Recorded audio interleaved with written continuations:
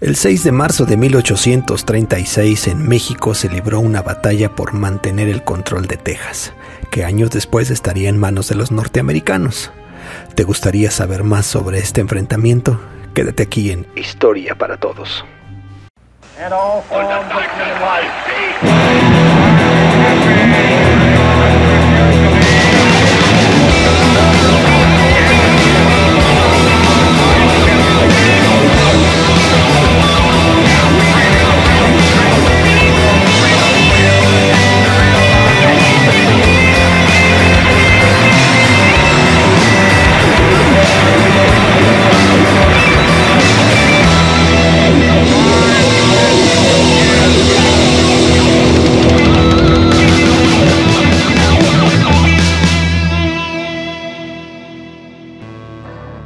Antonio López de Santana era un general mexicano cuyos triunfos durante la independencia de España le condujeron a la presidencia en 1833.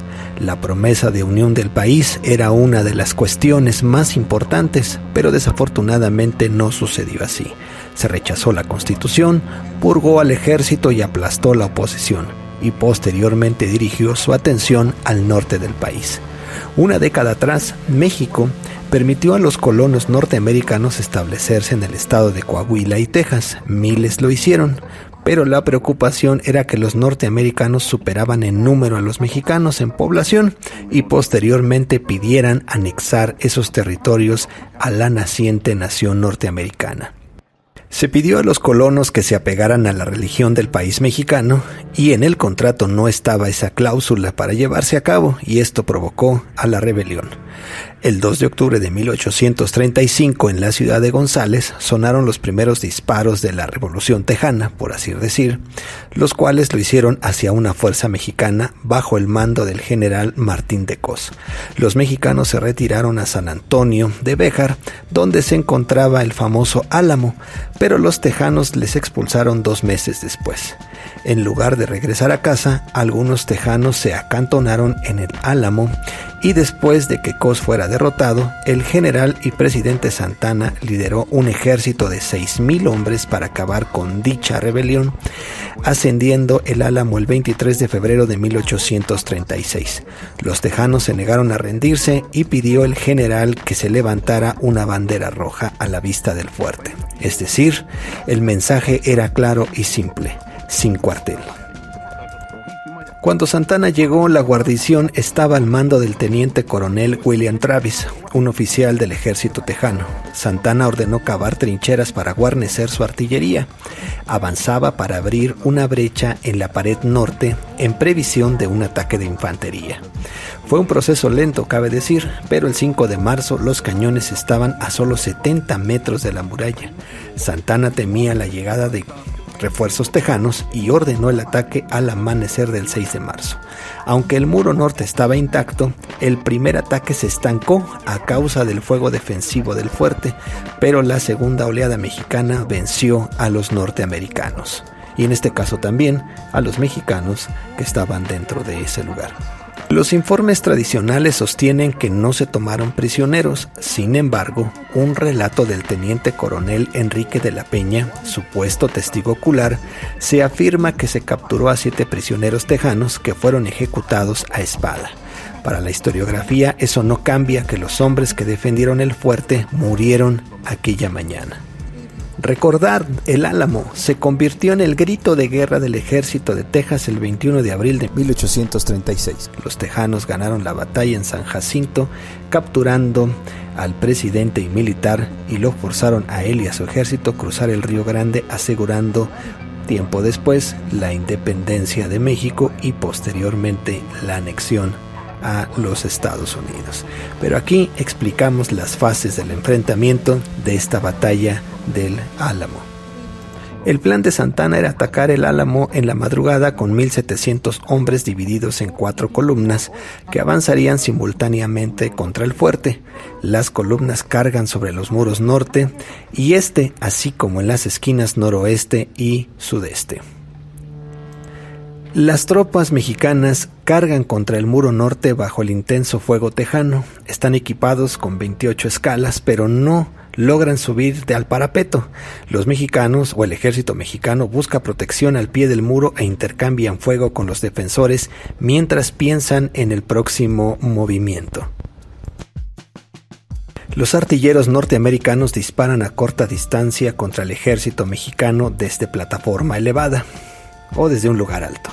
Algunos de los cañones usan metralla que pueden matar o mutilar a unos 10 hombres en cada disparo. Las cuatro columnas del ejército mexicano flaquean frente a la defensa norteamericana. Santana compromete a sus reservas en un esfuerzo para abrir una brecha en la pared del norte. El general Juan Amador sube al muro con algunos de sus hombres, uno de los cuales abre la puerta del muro en el norte, y el ejército mexicano entra obligando a los tejanos a abandonar las murallas y retirarse a sus últimas posiciones defensivas, en la iglesia y en los barracones. Los hombres del general Martín Cos se despliegan a lo largo del muro oeste ligeramente defendido, donde usan hachas para abrirse paso hacia el fuerte a través de puertas y ventanas durante la batalla. El coronel Juan Morales liderea a 100 hombres que trepen el muro por la esquina sureste y capturan el único cañón de 18 libras del fuerte antes de que los tejanos puedan dispararlo. El grueso de sus tropas se despliega por la parte sur del recinto. En un intento desesperado por escapar de la muerte segura, estos eh, hombres tratan de saltar por el muro y bueno, pues un regimiento de lanceros a caballo, apostados en el lado este, carga contra los enemigos, matándolos con sables y lanzas. Otros jinetes van en busca de los pocos que intentan escapar sobre esta batalla en el Álamo. La mayoría de los norteamericanos se retiran al interior del fuerte, donde ocupan posiciones fortificadas en varios edificios. El coronel Jim Bowie, gravemente enfermo, es asesinado en su cama en una habitación del muro sur. A pesar de que Bowie supera técnicamente a Travis, este no está al mando de los voluntarios, sino de los regulares de Texas, por tanto, es el oficial superior. David Crockett, el célebre aventurero de Tennessee, ordena a sus hombres que vuelvan a la iglesia para la defensa final. Dentro del edificio se defienden con pistolas y cuchillos, pero son superados por el ejército mexicano que matan a soldados y civiles por igual con sus bayonetas. Un grupo de soldados del ejército mexicano asciende por una rampa hasta la plataforma de artillería en la parte superior de la iglesia donde disparan o apuñalan a los artilleros que manejaban tres cañones. Disparan a un hombre que intenta hacer explotar el polvorín del fuerte con una antorcha. Esta victoria trajo consecuencias a la larga a través del tiempo. Como todos ya saben, bueno, pues Texas vivió una corta vida independiente y después su territorio fue anexado a los Estados Unidos y también sería la antesala para un enfrentamiento entre estos dos países en 1846 y 1848.